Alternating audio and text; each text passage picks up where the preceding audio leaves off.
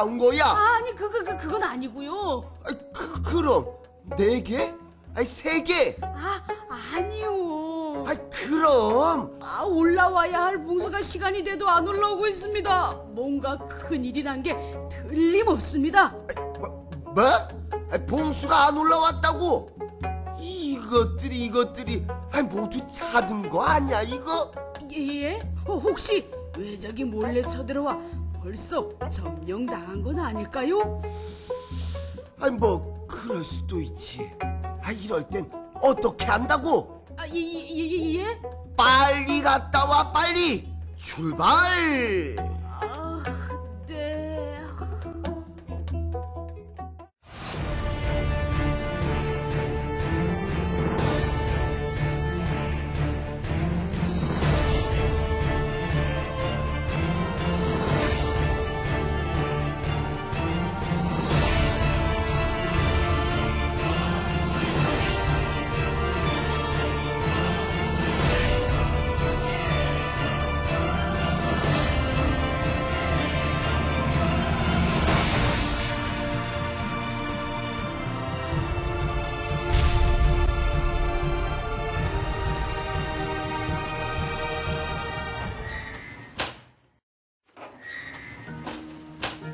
시간여행 강원. 오늘은 불과 연기로 변방의 위급한 상황을 알렸던 봉수와 급한 연락을 가지고 직접 말을 달렸던 파발에 관한 얘기입니다. 자, 오늘 함께 이야기 나눌 전문가입니다. 강릉문화원의 박도식 교수 나오셨습니다.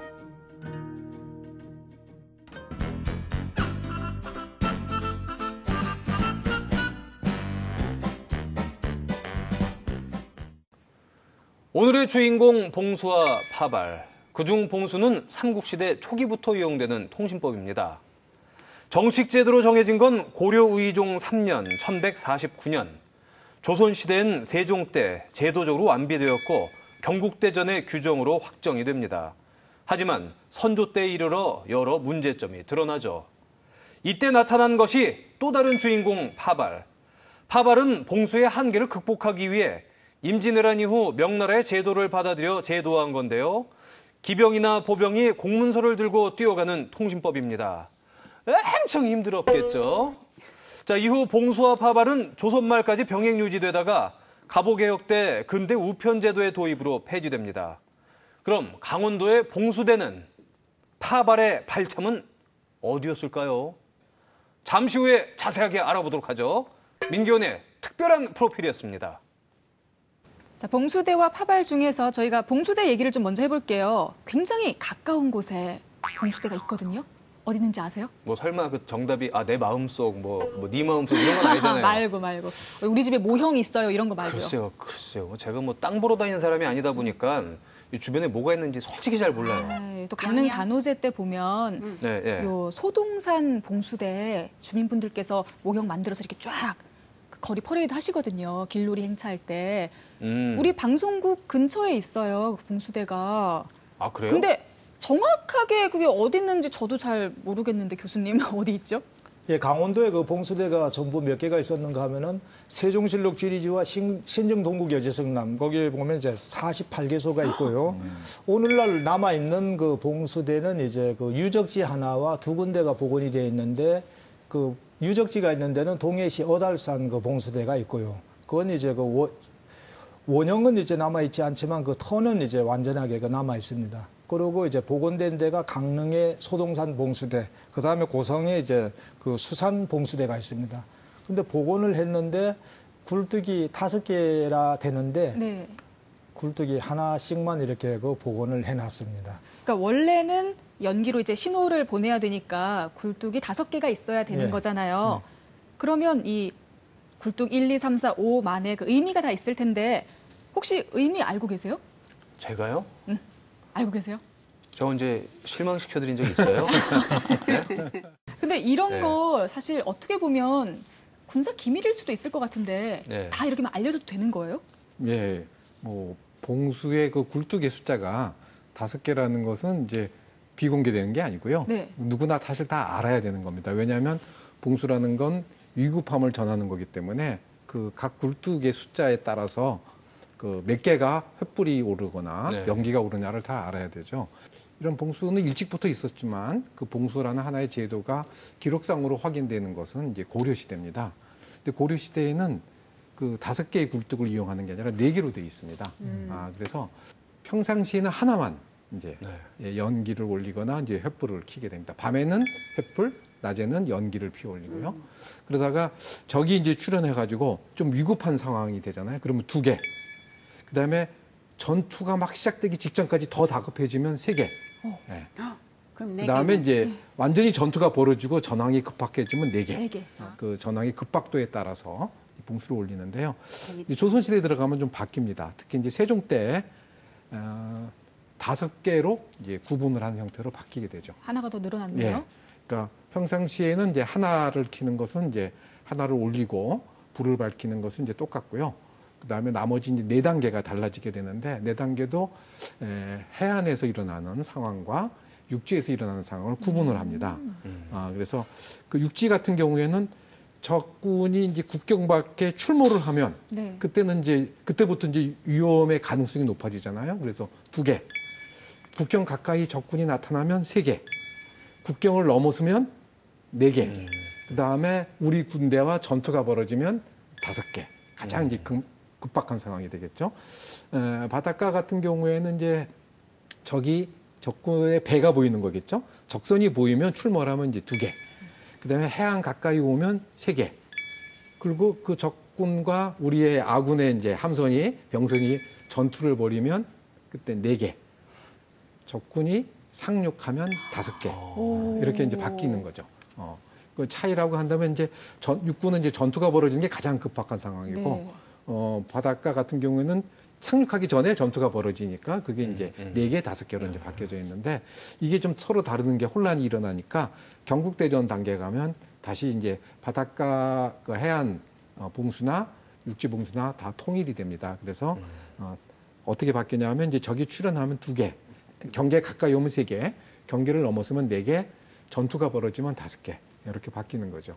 아까 이제 박도식 교수께서 에, 복원을 한 개만 했다고 그랬는데 네, 네. 네. 아마 뭐 꼭 몰라서라기보다는 강릉은 항상 평상시에 한 개를 올리니까 항상 평화롭게 아. 예, 항상 평화로운 시대를 영원히 가라 이런 뜻으로 한 개를 만든 게 아닌가 한 개를 어, 복원한 게 아닌가. 큰 뜻이 그런 있었네요. 뜻이 있지 않을까 아. 이렇게 이제 짐작을 해보게 됩니다. 그럼 좋은 뜻으로 좋은 한 뜻으로 거네요. 해석을 네, 봉수대가 우리 주변에 있다고 하는데 예, 저도 솔직히 본 적이 없습니다. 그래서 이 말 나온 김에 화면으로 보고 이야기 좀 이어가야 될 것 같습니다. 화면 함께 하시죠.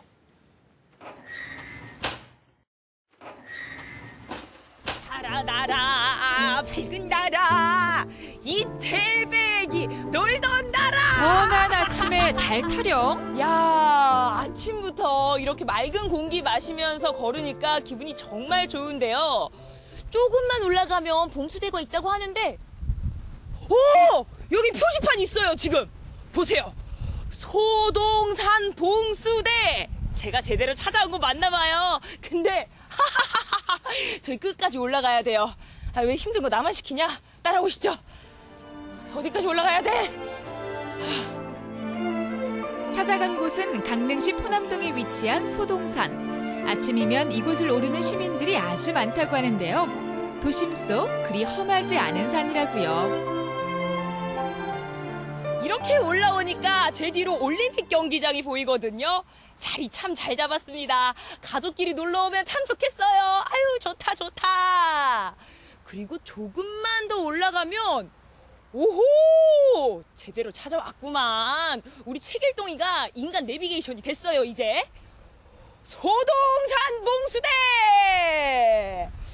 한번 올라가 볼까요? 아이 근데 제가 또 뭐 아는 게 별로 없어가지고 이럴 때는 또 도움을 요청해야겠죠? 교수님!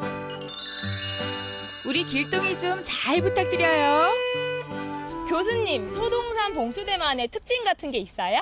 어, 여- 아, 보시다시피 이곳은 이제 이 지역이 사방이 확 트였던 그런 거 높은 곳입니다. 그러니까 여기에서는 바다도 보이고 그 서쪽 대관령 쪽도 보이고 남북이 확 터진 그러한 이제 공간이기 때문에 다른 지역보다가는 그 어떤 그 봉화를 올리는 최적의 장소로 그렇게 이제 보입니다.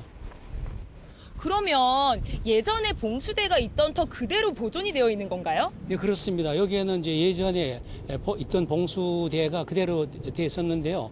어, 그 신정 동국 여지성남에 보면은 에, 조선 중종 임금 때에 그 소동산에 있는 봉수대를 월대산으로 옮겼다고 하는 이제 그런 기록이 있습니다. 그- 그런 걸로 보면은 조선 어, 초기까지는 이곳에 있었다가 조선 중기 이후부터는 이제 월대산에서 이제 봉수를 올리고 어, 그랬습니다. 조선시대로부터 이어오던 봉수대터에 복원된 소봉산 봉수대. 기단부만 유지돼 오다가 1986년 호남 배수지 설치로 아예 없어졌다. 지난 2008년 다시 세워진 거죠. 하단과 상단의 부루 형태에 중간에 봉수를 올릴 수 있는 형태의 직경 1.2m, 높이 2m의 원형 봉수대로 복원됐습니다. 이 봉수대가 어느 지역까지 간 거예요? 뭐 연결 연결해야 되는 네, 거잖아요. 여기, 이- 우리 이제 영동 지역에서는 만 예를 들어서 여기에서 이제 남쪽 그 해령산에 있는 해령 봉수대에서 봉화를 받아가지고 그 다음에 여기에서 전달하면은 이제 사천 진리에 있는 사화산 봉수대로 가고 그 다음에 그게 이제 주문진에 있는 주문들산 봉수대, 그 다음에 야양에 있는 양야산 봉수대를 해서 경흥까지 가가지고 함경도 경흥에서 이제 한양으로 가고 그랬습니다. 조선 중종 때 편찬된 역사 지리지인 신증동국 여지슬람에 등장하는 소봉산 봉수대. 비록 원형의 모습을 그대로 갖추지는 않았지만 도심 속에 여전히 건재하며 지나온 우리의 역사를 증명하고 있습니다. 또 다른 봉수대를 찾아 나선 책일동 리포터. 이번엔 어디를 가는 걸까요?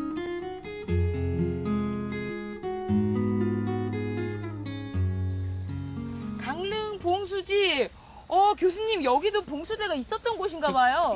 그 소동산 봉수대를 어, 이- 이리로 이제 옮겼죠. 봉- 그리고 봉수를 올리는 그 대는 없고 밑에 이제 밑돌, 지춧돌만 되는 이런 돌들이 여기 지금 사방에 에, 둘러져 있습니다. 그러니까 그걸 보면은 여기가 굉장히 좀 컸다고 하는 것을 알 수가 있죠. 그 여기에는 월대산에는 이제 북쪽으로는 주문진 저 진리 사화산에 지- 봉수대가 있고 그 다음에는 남쪽으로는 안인 진리에 있는 해령산 봉수대하고 이제 연결이 되는데 지형적인 거는 소동산보다가는 여기가 더 지형적인 측면에서라든가 군사적인 측면에서는 여기가 더 어, 월신한 그 월- 월등히 나은 그런 어, 지역이죠. 적의 침입이나 변란이 있을 때불 또는 연기를 올려 급한 소식을 전하던 봉수대. 통신 수단이 발달하지 못했던 조선시대 서로 보이는 높은 봉우리 위에 세웠던 봉수대가 있어 이웃의 소식을 빠르게 전할 수 있었습니다.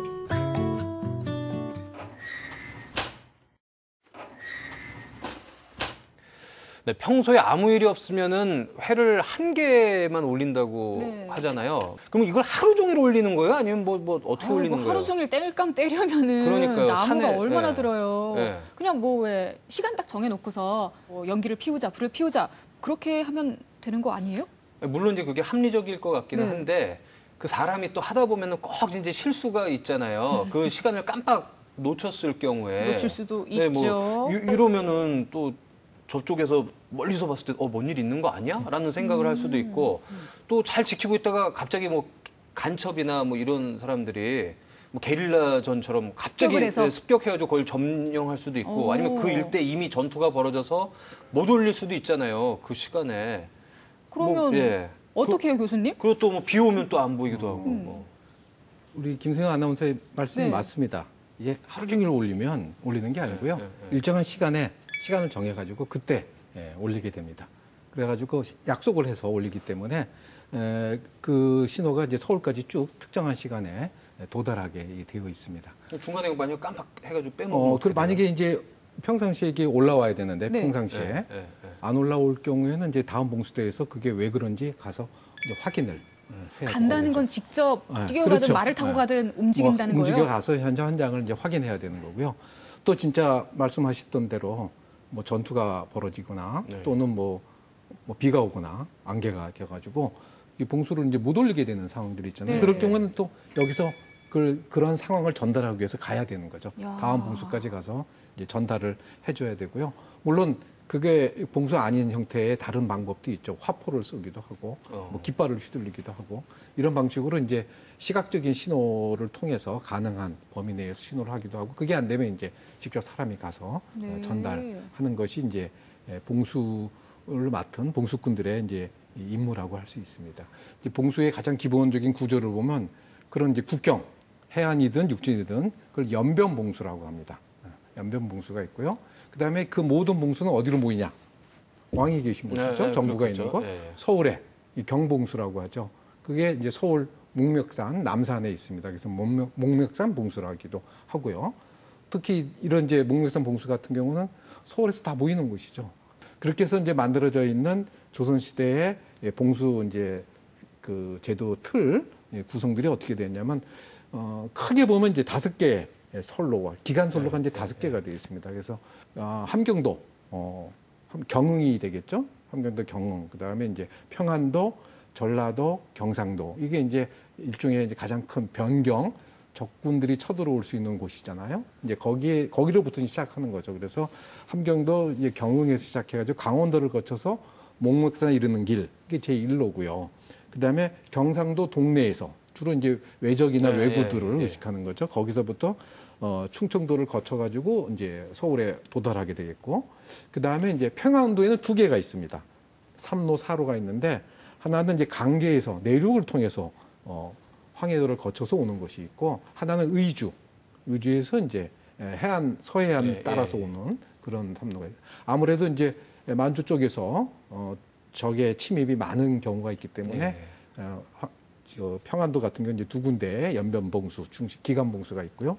또 하나는 이제 전라도 순천에서 올라오는 봉수가 있어서 요걸 이제 다섯 개의 기간 봉수 틀이 되고 또 사이에 직봉과 간봉으로 연결돼 가지고 잘 짜여져 있게 네. 이렇게 이제 시스템 자체는 구축되어 있습니다. 그런데 이런 어디에 있- 위치에 있고 어떻게 시스템이 짜여져 있고도 중요하지만 가장 핵심적인 건 사실 봉수대에서 근무하는 사람들이라고 생각을 해요. 그분들이 아무래도 이게 좀 나라의 안전을 책임지는 부분이다 보니까 군인들이 하지 않았을까 싶은데 이분들이 집에서 출퇴근을 했는지 아니면 거기에 숙소를 마련해주고 살았는지 뭐 요즘 말로 따지면은 2교대 근무를 했는지 3교대 근무를 했는지 굉장히 궁금하거든요. 예, 거기에 이제 근무하는 사람이 이제 그 봉수군이 있고요. 예. 그 다음에 이제 오장 이제 오원이 있는데 이제 그 지방에서는 이제 오장이라고 했었고 이제 경봉수에 그 근무하는 사람을 이제 그 오원이라고 했습니다. 그 사람들은 이제 봉수군을 이제 감독하는 사람들이죠. 그 다음에 이제 그 봉수 그 군을 보면은 그 신량 역천이라고 해서 그 사람들의 그 신분은 양인이지만은 맡은 역은 이제 천역이었습니다. 첩첩산중에 이제 근무했는데 금년은 이제 형편 없었고 다음에 이제 그 책임은 또 막중해서 아주 그 큰- 어떤 데는 그 사형까지 처해지는 그런 이제 형벌이 따라서 이제 그 기피하는 그 대상의 하나였죠. 그리고 이제 그 봉수군은 주로 그 지역에 금, 그 지역에 살고 있는 사람, 그 사람들을 이제 선발을 했었고 봉수군은 대체로 이제 열흘에 한 번씩 이제 교대로 이제 근무를 하게 됐죠. 열흘에 한 번 교대 근무라고 하면 열흘 동안 계속 정해진 시간에 맞춰서 예, 거기 24시간 가서 예, 일을 해야 거기 되는 가서 거예요? 이제 먹고 자고 먹고 자고 하는데 그 거기 봉수군을 보면은 대체로 이제 그 신랑 역전이라 했지 않습니까? 가난한 사람 그런 사람들이 그 그가 하다 보니까 거기에 이제 얼어서 이제 죽는 그런 경우도 이제 나타나고 오, 있습니다. 그래서 식으로 따지면 뭐 3D 네. 3D 역 중에 하나라고 그 얘기할 수 있겠네요. 칠반 천역 중에 하나죠, 보면. 그런데 어쨌든 규정대로 정해진 시간에 이렇게 딱딱딱딱 불을 지피면 외적이 침입했다 하면 빨리빨리 쫙 갈 것 같거든요. 실제로 한양까지 그 국경의 소식이 전해지려면 시간이 얼마나 걸렸을까요? 본래 이제 그 연변 봉수에서부터 서울의 목록에서 봉수까지 정해진 시간에 착착 이어진다면 12시간이면 도착합니다. 12시간. 아, 12시간이면 도착하게 되어 있는데 아, 지금 박 교수 말씀대로 뭐 봉수꾼들이 일 자체가 힘들고 네. 어려움이 만들고 그러니까 사실 제도는 좋아도 그 운영상에 여러 가지 한계들이 있다 보니까 제대로 지켜지는 경우가 없죠. 그 대표적인 조선시대 이제 큰 외적의 침입이라고 그러면 뭐가 있죠? 임진왜란. 예, 예. 병자호란 이런 게 있지 않습니까? 그럼 그럴 때 바로 봉수가 제대로 기능을 했느냐? 어, 어, 못했어요. 그걸 제대로 기능했다는 걸 차- 흔적을 찾아보기가 어렵습니다. 실제 임진왜란 때도 그 부산에 외적이 도착해가지고 봉수가 올라간 게 아니라 어, 그 역참을 이용한 네. 사람이 사람이 소식을 전달해가지고 사 4일 만에 예, 서울에 도착하는 이런 상황이 됩니다. 봉수로 빨리 갔으면 12시간이면 되는데 그렇죠. 사람이 네. 가니까 4일이나 걸린 네, 거예요. 그래서 한참 뒤에야 이제 부랴부랴 수습하는 이런 상황이 되어 있다 보니까 임대난을 겪으면서 어, 이게 봉수가 이게 아무 소용 없는 거 아니냐. 그러면서 이제 파발제로 어, 봉수제에서 파발제로 바뀌는 하나의 계기가 되었던 것이죠. 근데 중국에 보면 뭐 비둘기도 날린다 그러고 풍선을 날리기도 하고 우리 뭐 호그와트 같은 데서는 부엉이도 가고 이렇게 소식을 전할 수 있는 다른 방법들이 있잖아요. 봉수랑 파발 말고도 다른 통신법이 있지 않았을까요? 예, 이게 뭐 봉수는 가장 기본적인 이제 근간의 어떤 군사 통신 체계라고 할 수 있고요. 이게 자대로 작동되지 않는 뭐 자연 환경도 여러 가지 있을 경우에는 다른 방법들이 있죠. 뭐 가- 가장 간단한 방법 중에 하나가 이제 치- 청각, 뭐 적이 쳐들어왔다 하고 소리를 질러가지고 아. 이제 이렇게 하는 방법도 있을 텐데 사람 소리보다는 이제 징을 치거나 꽹가리를 치거나 북을 치거나 이렇게 해서 다급함을 알리기 알리는 이런 게 있죠. 그런 게 있고 또 큰 깃발, 어, 깃발을 이제 장대에 매달아 가지고 이제 그걸로 신호를 하는 이런- 이제 시각적인 매체를 전달하는 방법도 있죠. 그리고 꼭이 변경해서 이제 수- 수도로까지 연결되는 방식은 아니더라도 본래 북이나 징이나 깃발 같은 경우들은 전투 시에 여러 가지 그 통신 수단으로 예, 예. 어, 사용됩니다. 또 연을 사용하는 경우도 있습니다. 연? 특히? 이제 예, 수군 좋다. 같은 경우에서 이제 연을 많이 사용하기도 하는데 특히 이제 임진왜란 때 이순신 장군은 이런 신호연을 많이 사용했다고 해요.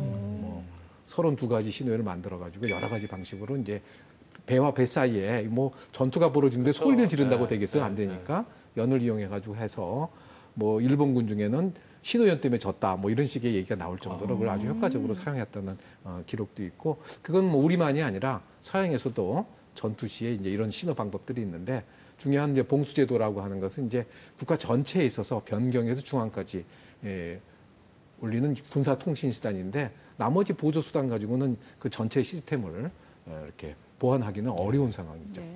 혹시 그뭐 김유신 장군도 연과 관련된 전설이 있어요? 예, 김유신 장군은 이제 어떤 게 있냐면 이제 반란이 비담의 반란이 일어납니다. 지금 현재 경주에서 김유신 장군의 이제 왕군은 어 소위 지금 월성 어, 월성에 있었고 그다음에 반란군은 지금 이제 반월 어 저기 다른 데에서 이제 그 직 반란을 일으키고 있었는데 그때 이제 그 별똥별이 에, 김유신 부대 진중으로 떨어지게 돼요.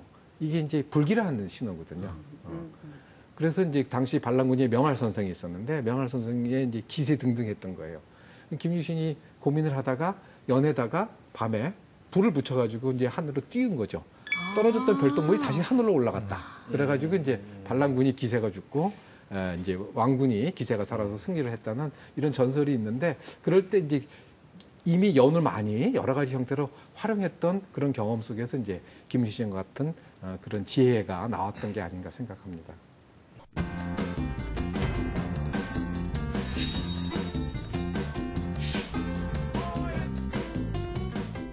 자, 연기를 이용한 기발한 통신법. 그 기원전 200년 경에 그 그리스에서 아, 연기로 알파벳 할 수 있는 방법을 개발했어요. 알파벳을 썼어요? 알파벳을 연기로? 예. 연기로? 연기로. 예, 예. 구름처럼 그 기원전 만들어서요? 200년. 그래 이, 이 사람들이 아. 그 저기 그렇게 할 수 있었고요. 일종의 알파벳을 그대로 형태대로 만든 게 아니라 아니고. 이제 구분을 했다 이거죠. 일종의 뭐뭐 A고 뭐 어, 모르스 부호와 같이 그렇죠. 이제 약속을 정해서 기호를 네. 만들었다. 이거는 이, 이응이고 네. 우리가 제 세대 사람들은 젊었을 때는 서부 영화를 좋아했어요. 그렇죠. 예. 하나의 옛날에. 무법자. 예, 그래서 인, 인디언들이 항상 연기로 뭐, 맞아요. 어. 뭐 알리고 연기를 뭐. 가지고 어. 뭐 알리는. 그리고 2, 3일 동안에 어떤 정보를 1000km로 보낼 수 있었대요. 1000km면 근데 생각해 우리 봉수는 네. 굉장히 기술적인 과학적인 네. 시설인데 네. 이분들이 그냥 모닥불 가지고 이렇게 어떻게 해가지고 아, 그렇게 했나 봐요. 우리는 산이 많으니까 네. 산 꼭대기마다 이렇게 해야 되는데 네. 여기에 왔던 굉장히 광범위한 평원이 펼쳐져 어. 있으면 이 가시거리가 머니까 네. 이분들이 조건이 좋아서 그런지 네. 조금 더 음, 성공한 것 같아. 산지에 사는 사람하고 평지에 사는 사람은 차이인 것 같아요. 그렇죠, 그렇죠, 그렇죠. 예. 어, 그리고 그 로마의 교황 네. 아시죠? 어, 어, 예. 네. 교황 회로 뽑을 때. 그렇죠. 어, 어. 예. 그 저기 성공적으로 주기경들이 결정했을 때는 그 바티칸 그 꿀뚝에서 네. 하얀 연기가 나와요. 네. 오. 네. 근데 이분들이 어 그렇게 쉽게는 결정하지는 않아요. 한참 걸려요. 한참 걸리는데 실패할 때마다 검정색 연기가 나와요. 네. 네. 아, 그래서 요즘도 이 연기 색깔이? 네, 중요해요. 지금도 네. 어 이게 그러니까 이제 전통이 있는 거군요. 그. 그리스 때부터 그럼, 했던 방식이죠. 그래, 그래서 음. 이어온 거죠. 어떻게 보면은 두 번째 얘기는 18세기에 드론, 드론 아시죠? 드론. 드론. 네, 드론 요새, 열, 네. 열구기. 열기구죠. 어, 열기구. 열기구. 그러니까 18세기 때는 몽골 피의 형제가 네. 그큰 열기구. 열기구. 그러니까 제가 생각했던- 사람 요즘에 할수 보는. 있는. 음. 근데 몽골 분이세요? 생각해보세요. 그 18, 응? 아니, 이름이 몽골 몽골? 피해. 아, 그 그냥 형제? 이름이 성, 집안 이름이. 프랑스 사람인데 네, 프랑스 사람. 몽골 계통인가 보죠. 몽골 피가 있어서 몽골 피해가 아닐까요? 아, 그, 그, 근데 이분들이 생각해보세요. 18세기 말인데 그렇게 높이 올라가면 사람이 살 수 있을까 말까. 어. 처음에는 그래서 처음에는 동물을 실었대요. 뭐 양, 수탉 이런 음, 동물들 실고 올라가는데 다시 내려왔을 때는 아직 살아 있는 것 보고 그 다음부터 사람을 어, 잤어요. 근데 이거는 그 한참 영국하고 프랑스 한참 싸우고 있었을 때 그 이게 군대에서 이- 이거를 썼대요. 음. 이거를 썼대요. 그러니까 왜요? 어? 왜 사용한 거예요? 왜냐하면은 멀리 그 저기 올라가면은 멀리 보이잖아요. 높이 올라가서 멀리 보이면 그 그쪽 군인들이 네. 무슨 짓 하고 있는지 음, 음. 그알 수 있어요. 그러니까 아주 최담, 유익하게. 최담희 선생님 말씀드리니까 이 통신, 뭐 네. 연기를 쓰거나 뭐 또 드론 열기구를 쓰거나 네. 또 우리 봉수도 마찬가지지만 네. 이게 다 어디 군사, 그렇죠. 군사적인 네, 목적, 네, 네. 전쟁과 관련되어서 관련된 이때 이제 이런 새로운 기술들이 개발돼 가지고 그럼요. 그리고 우리가 시작하네요. 일반 사람들이 쓰는 여러 마이크로웨이브 전자레인지 있잖아요. 그 네. 군대에서 개발했다는데. 그러니까 군대 기술이 가장 먼저 발달하고 그것이 네. 이제 민간에 확산되는 것들이 이제 네. 어, 요즘에도. 그렇게 많이 되는데 그렇죠. 이 그렇죠. 통신 기술도 마찬가지네요. 네, 네, 그럼요. 자, 그럼 이제 다시 봉수와 파발 이야기를 좀 해야 될 것 같습니다. 저희가 준비한 화면이 있거든요. 함께 보시고 이야기 나눠보겠습니다.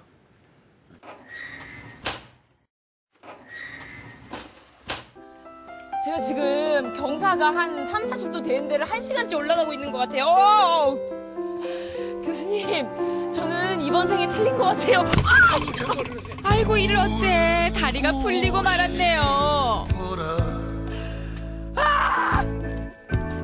진짜 내가 방송 촬영하면서 화를 안 내는데 오늘은 좀 화가 난다. 아니 봉석군들 그 옛날에 얼마나 힘들었겠어요. 이렇게 길 오르면서 나처럼 이렇게 넘어지고 말이야. 해발 200m, 해안선으로부터 약 1km 정도 떨어진 이곳은 동해안의 해안선이 돌출돼 있는 곳으로 먼 곳을 살피고 경계하기 좋은 지형 조건을 갖추고 있죠. 아니 그런데 저는 사실 어떤 곳인지도 제대로 모르고 교수님만 따라가고 있거든요. 왜 이곳이 선정된 거죠? 여기 이게 이제 원형이 비교적 이제 많이 남아 있어. 그래서 강원도 기념물 제13호로 지정되어 있는 곳입니다. 그렇다면 또 가봐야죠. 가봅시다. 힘내서 갑시다. 가자. 홍길동이 갈 수 있다. 그렇게 돌무더기 에 치며 오른 이곳은 바로 동해시에 위치한 어달산입니다. 교수님, 우리가 정상에 왔어요. 와, 이렇게 보니까요. 바다가 한눈에 보이는 게왜 봉수대가 여기 있는지 알 것 같아요. 여기에는 이제 땅이 이제 그 좀 척박하기 때문에 나무들이 잘 자라지 않아요. 그러니까 시야가 굉장히 이제 넓게 퍼질 수가 있는 거죠. 그래서 여기서 보면은 저 남쪽으로는 삼척 교동에 있는 그 광, 어, 광진산에 광진 봉수대에서 봉수를 받아가지고 여기에서 다시 북쪽으로 저기 보면은 저 심곡 오근산에 있는 오근산 봉수대로 이제 다시 이제 봉수를 보내 그랬습니다. 으이차. 야, 그래도 진짜 올라오니까 보람 있어요, 교수님. 그렇죠. 오, 저쪽 뒤로 보이는 곳이 묵호항인가요? 이- 이쪽이 이제 묵황입니다. 아, 그러면 여기서 묵호항을 바라보면서 이제 외구가 침입하는 걸 봤겠네요. 그렇겠죠. 그러니까 여기는 이제 수심이 좀 깊으니까 어, 애들이 이제 정박하기가 알맞으니까 아마 그래서 외구들이 이리로 자주 출몰한 것 같습니다. 조선 전기까지 활발히 사용되어졌던 봉수대. 허나 조선 영조 때 편찬된 여지도서를 살펴보면 동해안 지역의 봉수가 대부분 폐지된 것으로 나타나고 있어 조선 후기에는 그 기능을 상실했을 것으로 보여집니다. 봉수대가 언젠간 없어졌을 거잖아요. 언제 없어졌어요? 그러니까 이제 구한 말에 근대적인 통신 수단이 개발되면서부터 이 이제 봉수대의 역할이 없으니까 그때 없어졌고요. 이 저기 파발이라고 하는 것은 그 임진왜란 끝난 임진회 끝날 무렵에 봉수로서는 그 전달이 한계가 있기 때문에 사람이 이제 문서를 가지고 이제 말을 타거나 걸어서 가는 그런 이제 파, 파발이라는 것이 이제 생겼죠. 높은 봉우리마다 서 있어 위급한 소식을 전달했던 봉수대. 세월이 흘러 그 기능은 상실했지만 동해안의 안전을 지켰던 흔적만은 여전히 남아 있습니다.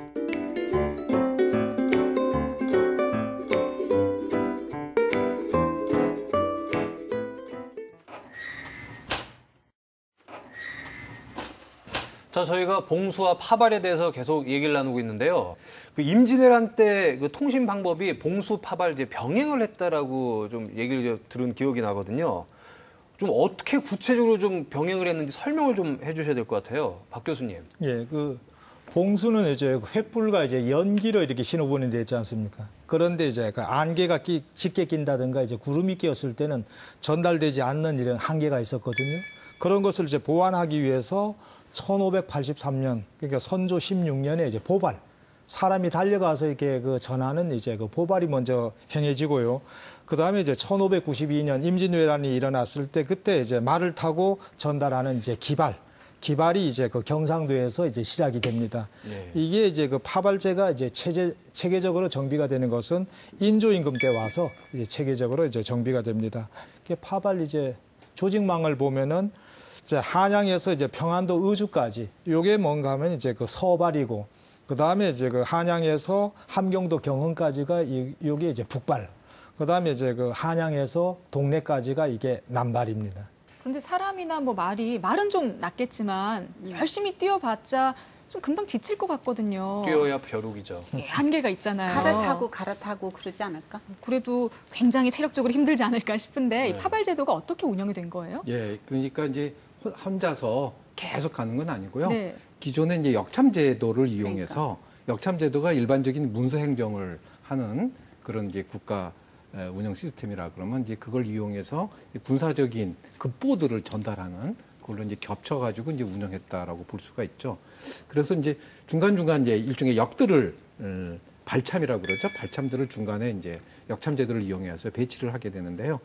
어, 보발 같은 경우는 대개 이제 30리마다 한 참을, 1참을 두게 됩니다.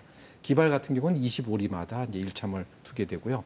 에, 그래서 이 박 교수께서 지금 이제 서발, 북발, 남발 이렇게 얘기했는데 이제 가장 중요한 게 이제 서발이죠. 서발 같은 경우는 주로 기발로 운영을 하는데 참이 41참이 있습니다. 41참이 있어가지고 한 1,050리 정도 이제 거리가 되고요. 북발 같은 경우에는 이제 64참, 2,300리가 되고 남발 같은 경우가 31참이 있습니다. 거기에 그런 참을 통해 가지고 이제 연결이 되는데 그때 이제 사람이 이제 보발 같은 경우 이렇게 쭉 갔을 때 주로 이제 서발 말고는 이제 주로 보발을 이용하니까 하루 이렇게 참을 이용해 가지고 100, 180리 정도를 이제 예, 주간에 이동할 수 있다고 해요. 근데 아주 급보 같은 경우에는 밤낮으로 이제 이동하지 않을 겁니까? 그러면 하루 이제 300리 이상을 할 수 있다 이렇게 생각이 되는데 임대나라 같은 경우가 이제 부산 동네에서 시작해가지고 서울까지 한 4일 걸렸는데 그 날짜로 이렇게 거리를 계산해 보면 하루에 한 230리 정도를 계속 움직였음을 이제 볼 수가 있습니다. 그래서 네. 아마 요즘 사람들보다는 과거 사람들이 아마 운동장도 좀 많고 그래서 그런지 예. 훨씬 좀 우리가 생각했던 것보다 빠른 속도로 움직이고 소식이 예, 전해져서 서발 같은 경우에는 저 우주부터 오는 서발 같은 경우 이틀이면 이제 오게 되고요. 예, 예. 북발은 아무래도 거리가 머니까 4일, 5일 정도 걸리고 남발 같은 경우에도 한 이틀, 3일 정도는 이제 이- 이 파발 제도가 갖춰졌을 때는 빠른 속도로 움직이면 그런 정도로도 소식이 파발제를 이용해서 급보도를 전할 수 있었다 어, 이렇게 되어 있습니다. 네. 그 봉수대 같은 경우는 저희 뭐 방송국 근처에도 있다 그런 얘기를 드렸는데 혹시 파발의 발참도 강원도 내에 뭐 여러 개가 있었을까요? 예, 파발 같은 경우에 이제 그 발참이 강원도에 에, 그 여섯 군데가 있다고 이제 나오는데 구체적인 장소로 우리가 확인할 수 있는 것은 철원에 한 곳을 이제 확인할 수가 있습니다. 만기로 하면 나오는 게 기록입니다. 네, 그렇군요.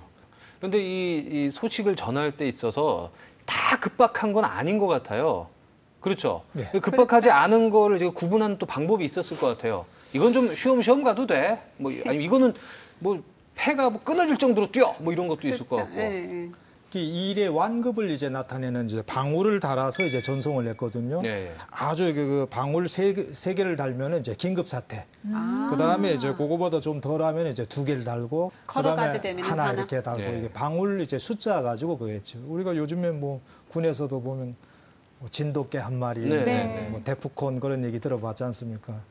그, 그, 그 당시에는 이제 파발제가 할 때는 이제 방울의 숫자 가지고 일의 완급을 이제 재밌네. 나타냈던 거죠. 이 방울 소리가 크면 급하고 적게 이제 많이 달면 소리가 커질 거 아니에요. 어, 적게 울리면 이제 좀 덜 급하고 이런 이런 얘기가 되네요. 그렇죠. 그런데 이게 정말 어쨌든 국가에서 나름 중요한 소식들을 전달하는 과정이잖아요. 그런데 예를 들어서 제가 개인적으로 나도 뭔가 이 편지를 좀 보낼 게 있어요. 아, 숟가락 얹는 얘기네요. 예, 그래서 내가 직접 가기는 좀 못한데 저 사람이 가야 돼, 어차피 가야 되니까 음, 음. 저내 거 조금만 음? 전달 좀 해주세요. 이런 식으로 부탁하는 일이 없었을까요, 정말? 있었겠지. 어, 예, 그게 요새도 뭐 없었어요? 충분히 예상할 수 있듯이 네. 실제 조선 시대에도 파발제 운영할 때그 폐단 중에 그 이제 그런 폐단이 음. 있는데요. 그러니까 이제 그 사적인 서신들이 그렇겠죠. 이제 예, 예. 파발제 이렇게 겹쳐서 갔는데 정말 뭐 그런 상황 속에 이제 이렇게 살짝 얹혀가는 게면 뭐 그것도 안 되지만 사실은 네, 공적인 네. 걸 사적으로 이용은 안 되지만 이제 그래도 문제가 되는데 경우에 따라서 이제 그 남발 문제가 생깁니다. 발마가 너무 남발되고 있다. 그 중에는 정말 국가적인 상황 속에서 필요성 외에 어떤 개인적인 부정적인 그런 상황 속에서 이제 파발 제도가 아, 악용되는 그런 사례들도 덜어 나타나기도 하고요. 또 사실은 이거는 이제 문서를 써가지고 예, 예. 그걸 적어서 어떤 일이 벌어지고 있다. 이걸 이제 써가지고 이제 중앙으로 보내는 파발 제도인데 그러려고 그러면 이제 발참을 지키는 발장이 글을 써야 되는데 예, 예. 이게 글을 잘 몰라가지고 체력은 좋은데. 체력은 그래가 좋은데 글을 제대로 몰라. 이제 쓰여지지 못해서 생기는 그런 네, 폐단의 네. 사례도 어, 부가 되고요. 어쨌든 조선 후기가 되면 네, 상품 네, 유통 네. 분야가 굉장히 발달하고 있지 않습니까? 네. 그래서 뭔가 통신하고 유통하는 것들이 발달된 사회 상황인데 이 국가의 그 말하자면 기반이 그 물류 기반이 그런 걸 못 갖춰주고 있으니까 네, 네, 사람이나 이런 동생들이 그러니까 그나마 있는 게 이제 뭐 역참이나 파발이나 이런 제도니까 그런 것들이 부정적으로 사용되는 면이 나타나는 것이죠. 사실은 그런 사회 변화에 맞게 사회 전체적인 시스템들이 바뀌어야 되는데 그렇지 못하니까 이런 이제 부정적이고 폐단들이 네. 예, 발생하는 거기 때문에 사실은 꼭 그런 그런 점에서도 사회 변화에 맞게 국가 체제가 어떻게 정비되느냐 그런 것들을 우리가 파발제에서도 좀 반성적으로 볼 필요가 있습니다. 그렇죠. 그러면 정말로 제가 뭐 글을 잘 몰라서 엉뚱한 내용을 전달한다거나 아니면 다른 사람의 부탁을 사적인 부탁을 바- 받아서 전달하느라고 이게 좀 늦어진다거나 이런 부정을 저질렀을 때 들키면 처벌을 받아요? 예, 처벌을 받는 거는 분명한데요. 그 구체적으로 이제 어떤 어떤 경우에 어떤 처벌을 받는지는 어, 아직 확인하지는 못했습니다. 근데 아무래도 파발은 봉수 같은 경우는 뭐 날이 너무 흐리거나 비가 오거나 눈이 그렇죠, 오면 안 그렇죠, 보이니까 그렇죠, 그렇죠. 좀 네. 불편한 점이 있었지만 파발은 뭐 물론 너무 추워서 사람이 좀 힘들다거나 이런 거 아니고서는 웬만해서는 괜찮을 것 같거든요. 그래도 단점도 있었을 거 아니에요. 예, 그 파발의 우선 그 장점을 보면은 그 문서로 이제 전달됐기 때문에 보안이 유지가 되고 그다음에 자세한 보고를 할 수가 있었거든요. 뭐 물론 이제 그 날씨 영향 그런 것도 받지는 않았습니다. 그런데 이제 그 오히려 이제 전달 속도가 이제 그 느리고 경비가 이제 많이 드는 그런 단점이 있었거든요. 그 전달 속도가 늦었다는 왜 늦, 늦게 되는가 하면은 그 발마의 그 남기 그 남기라는 게 이제 그 법률이라든가 규정을 어기고 역마를 이제 함부로 타는 것을 말하거든요. 그 그것과 이제 그로 인한 이제 그 피폐 그 다음에 이제 심지어는 이제 사문서의 전달 이런 것까지도 이제 파발을 이용해서 이제 발하기 때문에 그 발군이 상당히 이제 그 고역을 이제 그 고역에 시달리게 됩니다. 그러자 급기야는 이제 그 발군 이 사람들이 이제 도망치는 일이 이제 빈번했기 때문에 이제 전달하는 게 이제 상당히 느, 느, 느려지게 되죠. 아까 임기영 교수님 말씀하셨지만은 우주에서 서울까지 이틀이면 발마로 이제 이틀 걸리거든요. 그런데 이제 아까 뭐 사적인 이제 그 부탁 그런 걸 받아가지고 이제 훨씬 더 이게 늦어지게 되죠. 북발, 남발, 그다음에 서발이 있다라고 했는데 강원도는 거기에 이제 여섯 개만 있다라고 했거든요. 이 강원도는 그럼 어떤 방식을 통해서 서울에 전달했는가? 이게 조선 전기처럼 아마 그 어떤 문서라든가 이제 그 지방에서 이제 급한 보고 그런 걸 할 때는 이제 역참을 이용해 가지고 보고한 것으로 보입니다. 우리가 그 왕조실록에 나오는 이제 치서, 그다음에 치계, 그다음에 이제 발마 행위 그런 것이 뭔가 하면 이제 역참하고 관련되는 것인데 이 조선 후기까지 우리가 그 운영되던 이제 그 통신 방법이 봉수, 그다음에 파발, 그다음에 이제 역참 이런 이제 군사 통신 체계가 있었는데 이것이 이제 근대화가 되면서 이제 그 전화라든가 전신 체계 그것이 이제 도입되면서 역사에서 이제 사라지게 되는 겁니다.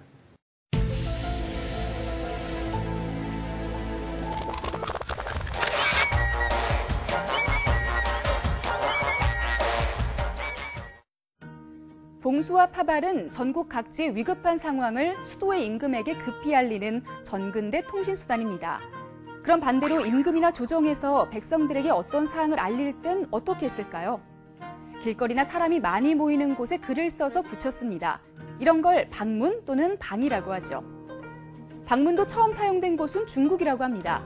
정확히 언제부터인지는 모르지만 매우 일찍부터 사용됐으며 청나라 때에 와서는 관료뿐 아니라 국민들까지 대상이 확대됐습니다. 우리나라에서는 삼국시대부터 방문을 사용했던 것 같아요. 888년 통일신라 정부를 비방하는 글이 대로상에 게시됐다고 하는데 이 기록이 방문에 대한 첫 기록입니다. 조선시대엔 방문이 더욱 다양하게 사용되는데요. 세종 때에는 법령 포고의 수단으로 이용되었고 이후엔 임금의 지시와 명령, 법령, 직무, 농사, 의술 등 다양한 소식을 방문으로 알렸죠. 그런데 어려운 한자를 모르는 백성들은 어떻게 방문을 읽었을까요? 중요한 방문, 그러니까 나라에 큰 일이 있을 때 임금이 내리는 교문이나 나라에 경사가 있어 죄인들을 풀어줄 때 임금이 내리는 사문은 각 군현의 수령들이 한글로 번역해 방문으로 알렸다고 합니다. 방문의 개시 장소는 서울이나 주요 읍성의 경우 성문과 종로 등이었고 군현 이하의 행정지역에서는 사람이 많이 모이는 장소였는데요. 대체로 전쟁이나 밀란, 혁명 같은 사건이 발생한 유사시에 많이 이용됐습니다. 예를 들자면 1884년 10월 갑신정변을 일으켰던 개화당 일파는 새로 내각을 조직하고 신정령을 발표하면서 한성부 여러 곳에 방문으로 붙여 일반 백성들에게 알려주었습니다. 또 동학 교도들도 교조의 신원을 위해 수천 명이 서울에 올라와 임금에게 복합 상소를 올렸는데요. 이때도 서울 시내의 외국인 주택과 교회, 영사관 등의 모든 외국인은 물러가라는 내용의 방을 붙였다고 합니다. 이렇게 근대 이전의 사회에서는 방문이 신속한 전달 매체로 많이 이용되었으며 일반 백성들에게 큰 영향력을 미쳤다고 합니다. 그럼 요즘은 어떤가요? 각종 대중매체의 발달에 따라 이전처럼 많이 사용되고 있진 않지만 선거 벽보나 공공기관의 공지사항 등이 거리의 벽보판에 게시되고 있습니다. 또 건물 안에선 구성원들에게 전달할 내용을 벽보를 이용하여 알리고 있죠. 특히 대학에서 학생들의 의견이나 주장을 펴는 대자보의 연원도 이 방문에서 찾을 수 있습니다. 아직도 남아있는 우리 주변의 방문들 어떤 게 있는지 한 번쯤 찾아 읽어보는 건 어떨까요? 지금까지 김서영의 에슨파일이었습니다.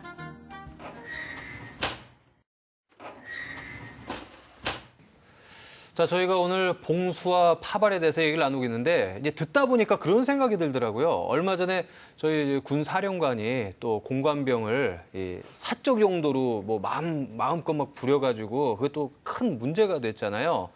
이 봉수와 파발, 특히 이제 파발 같은 경우에도 보면은 참 좋은 취지의 제도인데 아까 저희 말씀 나누면서도 이제 사적으로 뭘 좀 하기도 하고 요런 게 좀 많았을 것 같아요. 예, 그래서 느끼는 게 아, 공과 사는 정말 구별을 해야 되겠다, 사람들이. 네, 이런 생각을 제가 살짝 해봤습니다. 자, 그럼 마지막으로 우리 임과, 임기환 교수님께서 오늘 얘기를 좀 정리해 주시죠. 봉수와 파발은 네모다. 네, 봉수와 파발은 국난 경보다 이렇게 정리하고 싶습니다. 가끔 제 그 모바일 폰에서 네. 딱 울려요. 어, 깜짝 놀래가지고 삐삐 네, 소리가 네. 나고 아, 예, 예. 주변에서 나고 이게 뭔 소리야 하고 열어보면 날씨가 너무 뭐 폭염이다, 예. 뭐 아, 경보. 혹한이니까 조심하라, 뭐 이런 경보들을 울려서 뭐 국민이 됐구나라는 기분도 좀 대우도 받는다는 생각도 예. 들고 어쨌든 이제 경보잖아요. 예. 어려운 환경, 재난 뭐 이런 거에 대해서 좀 조심하라라고 하는 것이고 그럴 때 조심하지 않으면 이제 큰 위험을 겪게 되는 거죠. 이 봉수하고 파발이라는 것은 외적의 침입, 아주 국가적으로 위급한 이런 상황 그렇죠. 속에 대한 하나의 이제 경보입니다. 이런 경보 시스템들을 얼마나 제대로 운영해서 제대로 작동하느냐. 그게 이제 국가의 에, 운영의 생존의 가장 중요한 문제. 그것들을 이제 오늘 과거의 역사를 타- 통해서 다시 한번 확인하는 그런 상황이 됐어요. 그래서 에, 봉수와 파발의 가장 핵심적인 것은 국난 경보다. 이렇게 정리하고 싶습니다. 멋있네요. 네. 자, 오늘 봉수와 파발에 대해서 시간 여행 강원에서 어, 얘기 나눠봤습니다. 저희는 다음 주 이 시간에 여러분 찾아뵙겠습니다. 함께 해주셔서 고맙습니다.